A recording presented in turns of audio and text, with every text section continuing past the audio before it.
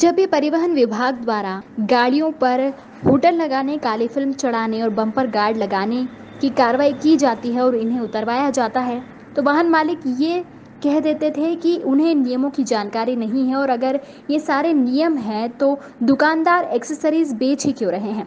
वाहन मालिकों की इस समस्या का हल परिवहन विभाग ने निकाल दिया है और अब परिवहन विभाग उन मोटर पार्ट्स विक्रेताओं पर शिकंजा कसने जा रही है, जो नियम के विरुद्ध एसेसरीज बेचते हैं। अगर विक्रेताओं द्वारा नियम तोड़ने वाले